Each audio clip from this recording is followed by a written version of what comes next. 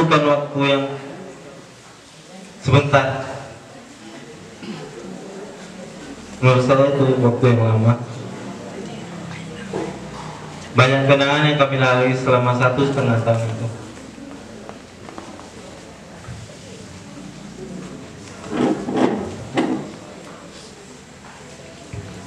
Besok kami kehilangan orang tua kami. Dia akan pergi untuk menjalankan tugasnya di Kalimantan, tepatnya di Pucuk Rantau.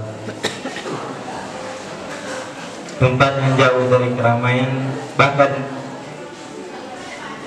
jauh dari kota. Asal teman-teman asal teman-teman tahu tempat Ustaz Iqbal itu sangatlah berat. Bahkan sinyal aja nggak sampai.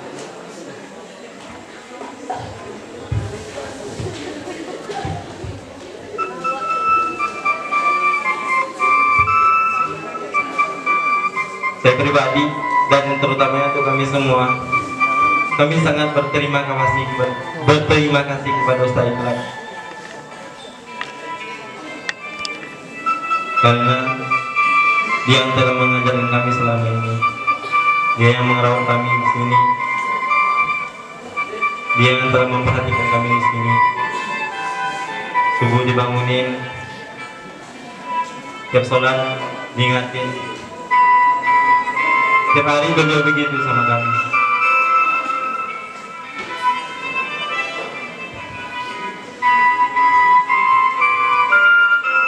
Baiklah,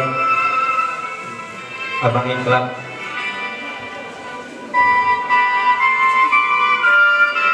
Terima kasih. Untuk satu setengah tahun. Mungkin ada dari pesan dari anak Saya lanjutkan bersama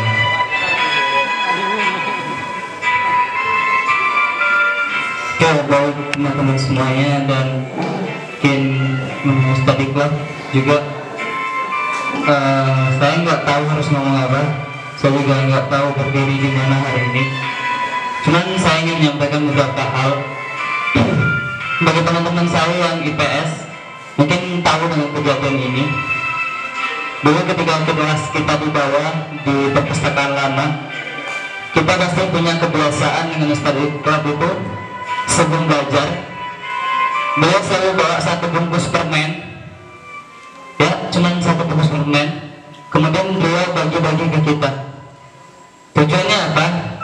Beliau silakan kalian makan permen silakan.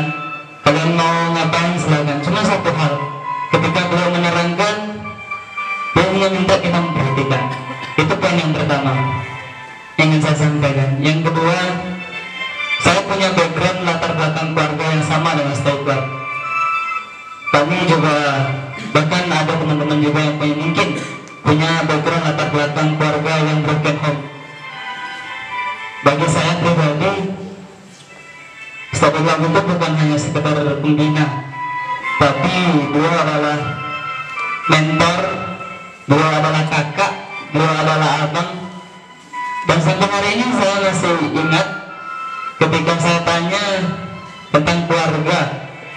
Dan mulai hari itu saya berjanji bahwa saya setelah itu tidak akan mengeluarkan air mata lagi untuk keluarga.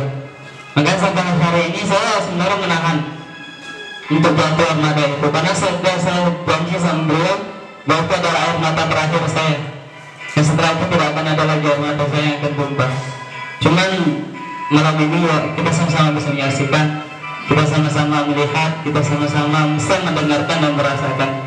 Poinnya apa teman-teman? Saya ingin menyampaikan ke kita semua seperti Jonathan Swift mengatakan dalam bukunya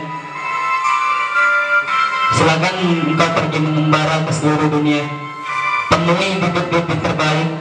Kumpulkan semua hal-hal baik. Tapi ingat akan ada suatu senja di mana engkau harus pulang ke negerimu mengabdikan ilmumu memberikan dampak yang baik kepada masyarakatmu. Dan ini yang saya pegang teguh sampai hari ini dan itu diaplikasikan oleh abang kita Jonathan Swift menuliskan ini 33 kali di dalam bukunya mengingatkan kita arti pulang dan arti kembali Igor sudah 12 tahun di sini pergi dan mungkin ini waktunya beliau kembali untuk mengabdikan ilmunya memberikan bibit-bibit terbaik pada senja di kampungnya untuk berubah menjadi Temarang yang mungkin lebih indah. Kami mewakili mungkin angkatan 90 Ustaz mengucapkan maaf yang sebesar-besarnya kemudian bila ada tindak tanduk kata-kata yang tidak pada tempatnya. Dalam ini kami mewakili seluruhnya mengucapkan mohon maaf yang sebesar-besarnya kepada Ustaz Iqbal. Mungkin itu saja dari saya. Uh, saya akhiri. Assalamualaikum warahmatullahi wabarakatuh